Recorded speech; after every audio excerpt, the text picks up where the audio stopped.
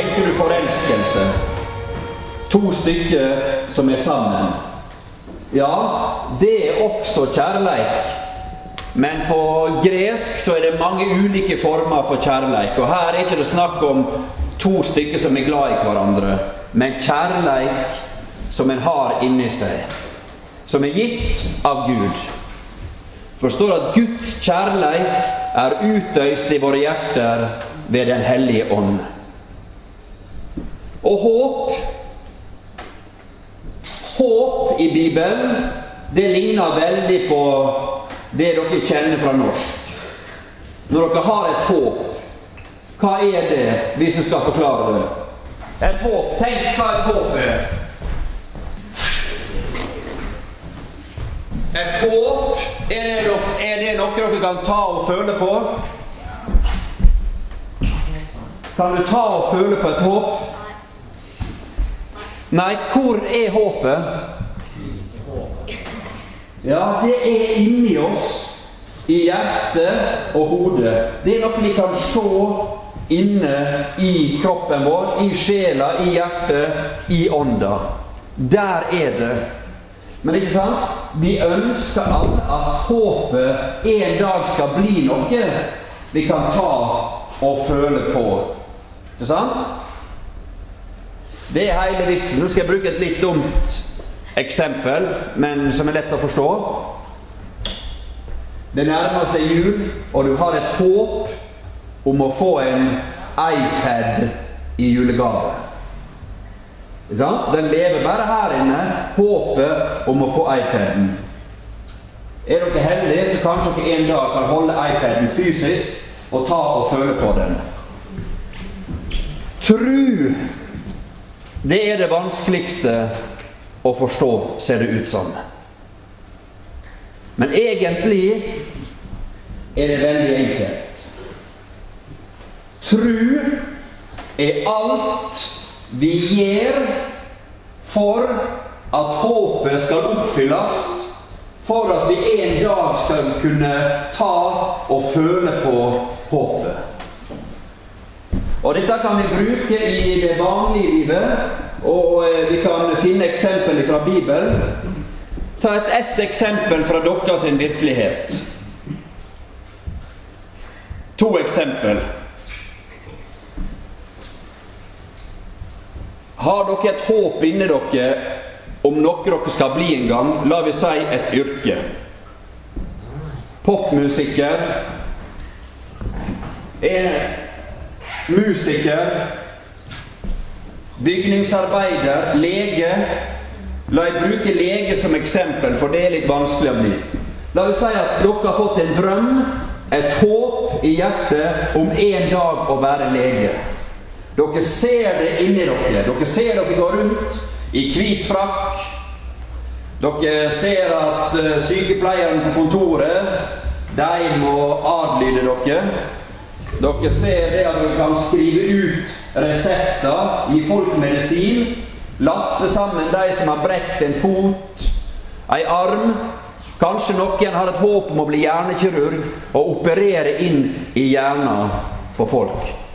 Men foreløpig er det kun et håp. For dere er 14 år. Og det er mange år til dere eventuelt kan bli hjernekirurg.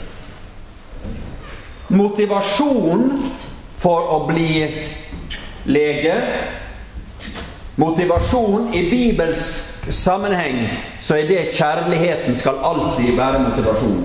Så la vi si da at det er kjærligheten til pasienten, det å bety noe for det neste, og det at dere er glad i dere sjøl og ønsker å ha et yrke dere trives med, det er motivasjon og drivkrafta for at håpet om en dag å bli lege skal gå i oppfylling. Hva er da trua oppi det her? Trua, det er det som gjør at du en dag kan leve i håpet. Ta og føle på det og ha det, eie det. Så det betyr at da, i den sammenhengen, så er tru alt du gjør fra nå til da. Alle leksene du gjør, alt du pugger, Alt du utdanner deg, og alt du gjør for at det skal gå i oppfyllelse, det er tru. Og det er hardt arbeid. Så tru er ofte hardt arbeid, og det er nesten alltid konkrete handlinger vi gjør. Så til Bibelen. Noah han fikk en fryktelig beskjed fra Gud. Og noen av dere Nei, det var i fjorårets konfirmantgruppe. De var hjemme hos meg og så filmen om Noah. Han fikk beskjed fra Gud om at hele jorda skal druknes ved en flod. En syndeflod. Det var deprimerende nyheter. Men så fikk Noah håp, fordi Gud sa du skal bygge deg en ark. Og i den arken skal du og familien din og utvalgte dyr bli redda. Så håpet til Noah, det var at når floden kom, så skulle de bli berga inne i Noas ark og leve videre. Motivasjon, det var kjærleiken til kona og barna sine. Han ønsker jo at de skulle få leve. Hva skulle da Noah gjøre for at håpet skulle gå i oppfylling? Skulle han bare sitte der og håpe at den båten skulle komme dalende ned fra himmelen? Ser dere, Det er ikke nok med kjærlighet og håp. Det må en ting til, til og det er tru. Og det var alt han gjorde fra den dagen fram til båten var ferdig. Det var tru. Han sagde? Kappa ned trær, han spikra, han malte og måtte sette i gang veldig masse arbeid. Ser dere hvordan det henger sammen? Sånn er det livet vi lever. For at vi skal oppleve at håpet skjer, så må vi jobbe for det. Og det gjorde Noah skal vi gå til Jesus. Han hadde en venn som heter Lasarus. Men Lasarus ble sjuk og døde. Lasarus hadde også to søstre som heter Martha og Maria. Og Lasarus ble lagt i ei grav, ei gravhule inn i fjellveggen. Og når Jesus fikk høre at han hadde vært død i fire dager, så kom han til søstrene hans og sto utafor gravhula. Og Jesus, han fikk håp inni seg. Hva håp tror dere Jesus fikk? Når vi står foran ei grav ute på Hestøy kirke, da ser dere alle gravstøttene. Og vi har kanskje vært i begravelser òg. Da er håpet vårt at en dag skal de stå opp igjen og leve med Jesus til evig tid i lag med oss andre. Det er håpet, og det leser vi ute på plassen utenfor grava under begravelsesseremonien. Så det er håpet. De skal stå opp igjen fra de døde og leve.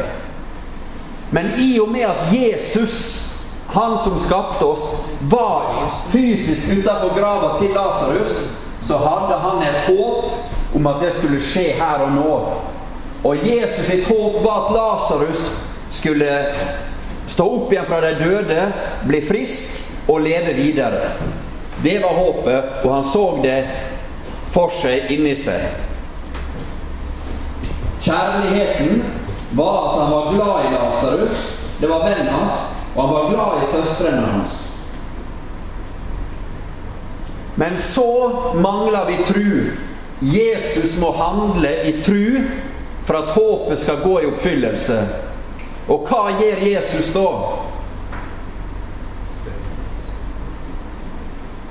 Han gjør ikke veldig mye i denne sammenheng. Eh, Noah han måtte bygge på en båt og arbeide 16 timers arbeidsdager hver dag i 100 år for at håpet skulle gå i oppfyllelse.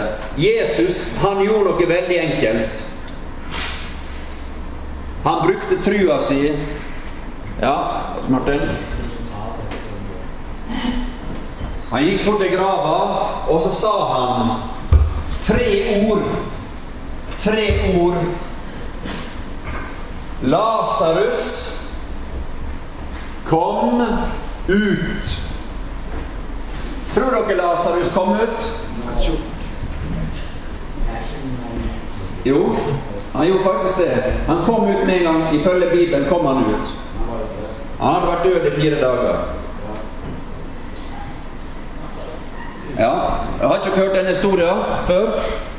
Vi laga en film for noen år siden med noen konfirmanter ute på Vignes, der vi hadde hele historien om hvordan Lasarus sto opp igjen fra de døde. Så den kan dere finne på YouTube. Så skal jeg lese litt ifra Bibelen. Det er jo litt kortere konfirmanttimer nå når vi har delt opp, så det blir litt mer komprimert før dere får ei kort pause. Da Jesus var kommet over til andre sida att med båten, samla mykje folk seg om ham. Medan han var nede ved sjøen, kom en av synagogeforstanderne. Han heter Jairus. Da han fikk se Jesus, kasta han seg ned for føttene hans og ba han inderlig. Dotter mi held på å dø. Kom og legg hendene på henne, så hun kan bli frisk og få leve. Jesus gikk med ham, og en stor folkehop følgde etter og trengte seg innpå ham. Det var ei kvinne der som hadde hatt blødninger i tolv år. Hun hadde lidd mye hos mange leger, og hun hadde brukt alt hun eide uten å få hjelp. Det hadde heller blitt verre med henne. Hun hadde fått høre om Jesus, og nå kom hun bakenfra i folkemengda og rørte ved kappa hans. For hun tenkte om jeg bare får ta i klærne hans, blir jeg frisk.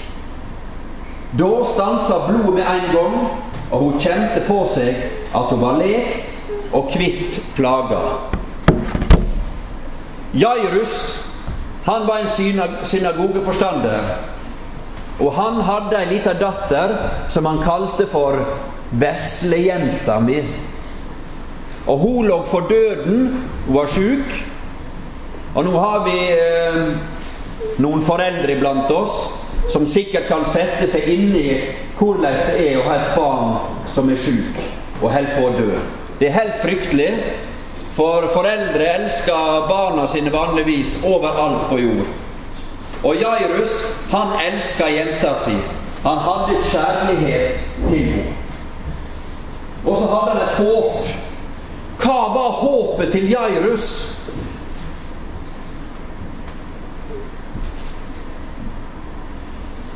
Hva var håpet til Jairus? Hva så han inni seg?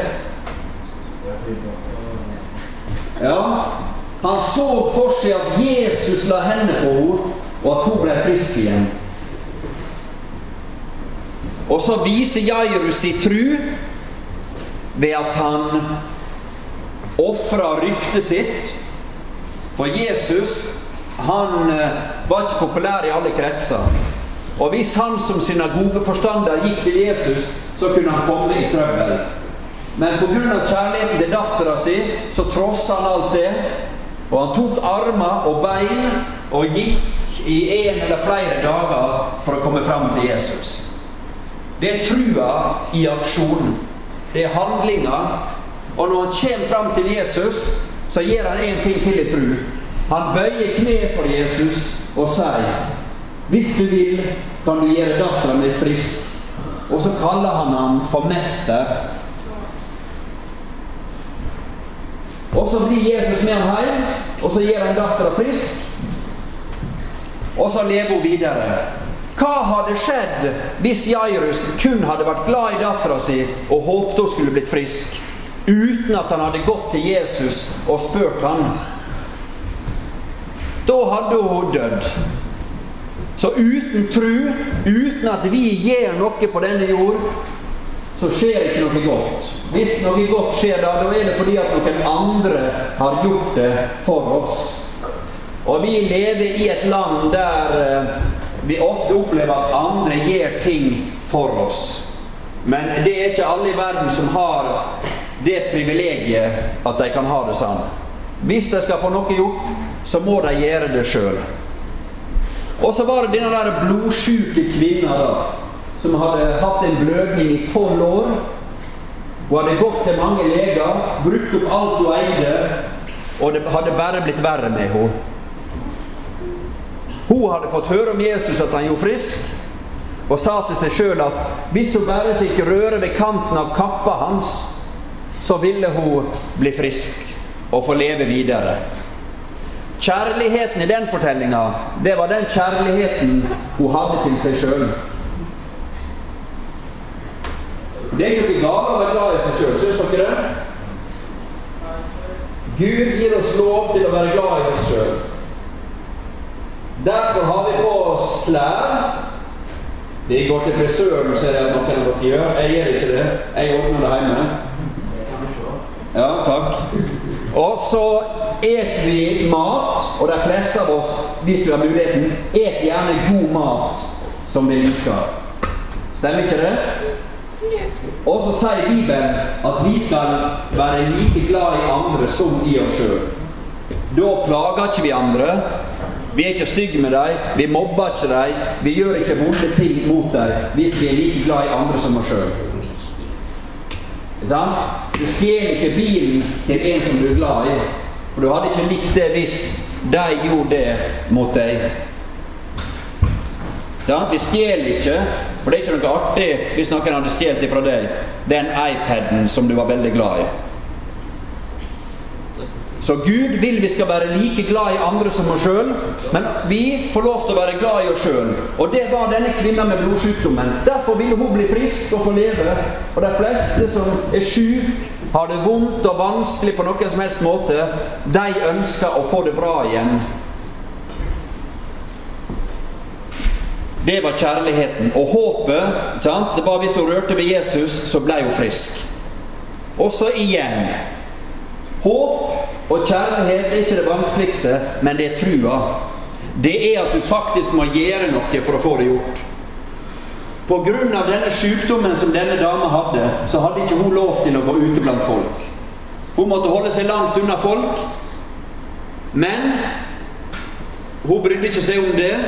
Og hun gikk gjennom en stor folkemengde, skudde dem til side for å få tak i kanten på kappa til Jesus. Og Hun tok tak i den, og så gikk det ei kraft ut av ham. Han kjente det, men han hadde ikke planlagt det. Og Så gikk den inn i henne, og så ble hun frisk. Da fikk hun oppleve det hun hadde håpet, og det kjærligheten i henne ønsket. Men uten at hun hadde gått noen kilometer, brøyta seg gjennom folkemengden og tatt tak i Jesus, så hadde de ikke opplevd det så ser vi at hvis vi har en drøm eller et håp om noe, uansett hva det er, om det er å lære å spille piano Før du håpet kan gå i oppfyllelse, så må du pugge noter. Du må øve igjen og igjen og igjen. Så det siste eksempelet før vi runder av. Tru er nesten alltid handling i 99% av det vi møter i livet.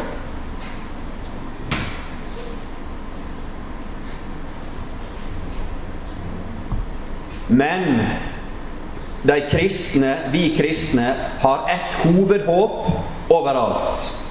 Vi har mange håp for det livet vi lever, ting vi ønsker skal skje. Men det som står overalt, er håpet om det evige liv. At vi en dag kommer til Jesus og lever der livet ut. Det er et håp.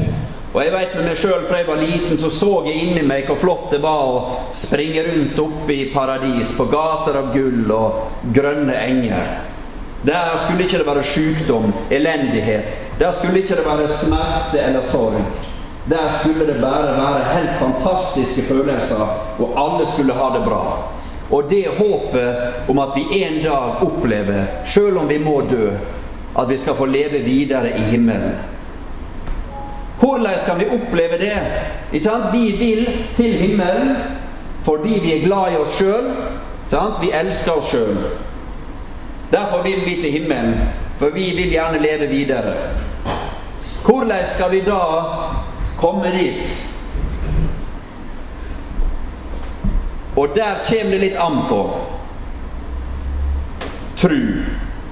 For en som prøver å gjøre seg fortjent til å komme dit, og er vant med å gjøre massehandlinger og gjerninger, kanskje tilbe statuer, eh, legge penger foran disse statuene, prøve å gjøre gode gjerninger mot andre for at Gud skal slippe deg inn, da er faktisk tru å ikke gjøre noe.